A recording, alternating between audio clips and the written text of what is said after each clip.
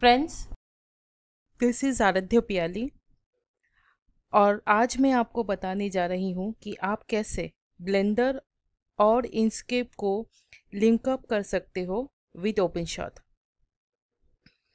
तो चलिए शुरू करते हैं।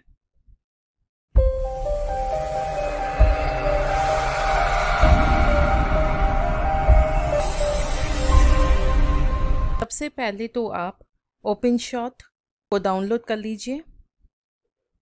फिर आप डाउनलोड करिए ब्लेंडर को और आप डाउनलोड करिए इंस्केप को। एक बार ये तीनों डाउनलोड हो जाए, फिर आप इंस्टॉल कर लीजिए ब्लेंडर एंड इंस्केप को इन विंडोज़ ये देखिए, मैंने ओपन शॉट खोल लिया है। अब जब हमारा ब्लेंडर और इंस्केप डाउनलोड हो गया है तो अब हम इन्हें ओपन शॉट के साथ लिंक कर सकते हैं। तो शुरू करते हैं। हमें जाना होगा एडिटर में, उसके बाद प्रेफरेंसेस ये देखिए फ्रेंड्स ब्लेंडर पाथ की जगह पे हमें ब्लेंडर लिखा हुआ आ रहा है और एडवांस टाइटल एडिटर इंकस्केप की जगह पे हमें सिर्फ़ इंकस्केप लिखा हुआ आ रहा है। मैं टाइटल पे जा रही हूँ। टाइटल मैंने क्लिक किया।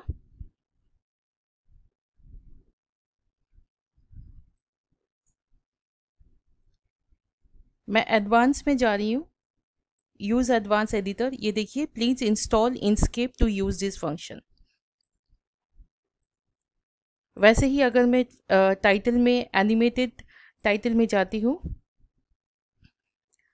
मान लीजिए मैं पहले वाला ही यूज़ कर रही हूँ तो यहाँ पे लिख के आ रहा है कि Blender three D content creation is required for this action तो फ्रेंड्स अब मैं आपको दिखाती हूँ कि कैसे आप ब्लेंडर और इंकस्केप को लिंक कर सकते हैं विद ओपन शॉट हम जाएँगे पीसी के सी ड्राइव में प्रोग्राम फाइल्स ये देखिए ब्लेंडर फाउंडेशन ब्लेंडर और ये रहा मेरा ब्लेंडर का ई एप्लीकेशन मैं इसमें राइट क्लिक कर रही हूँ, फिर प्रॉपर्टीज़ ये देखिए फ्रेंड्स मुझे ये लोकेशन का ये पाथ जो है कॉपी करना है।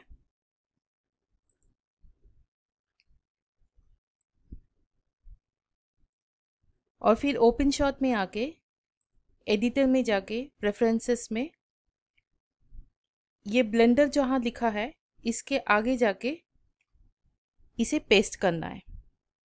फिर आप एक ब्लैक स्लैश लगाइए। ब्लेंडर के आगे और ब्लेंडर के पीछे लिखिए डॉट ई एक्स सी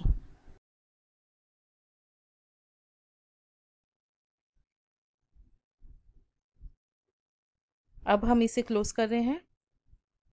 हम जाएँगे पीसी के सी ड्राइव में। यहाँ पे फिर प्रोग्राम फ़ाइल में चलते हैं।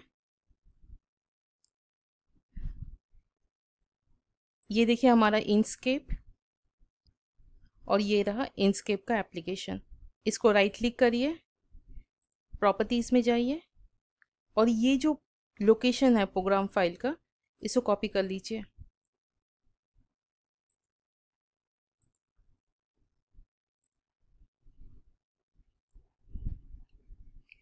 ओपन शॉट में आइए एडिटर में प्रेफरेंसेस में और इंसकेप के आगे इसे आप पेस्ट कर दीजिए।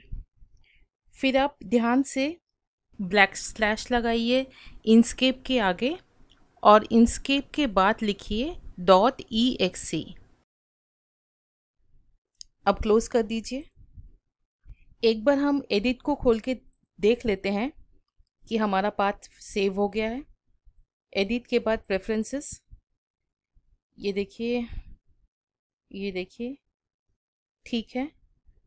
पाथ हमारा सेव हो गया है, मैं क्लोज कर रही हूँ। अब हम फिर से टाइटल पे चलते हैं।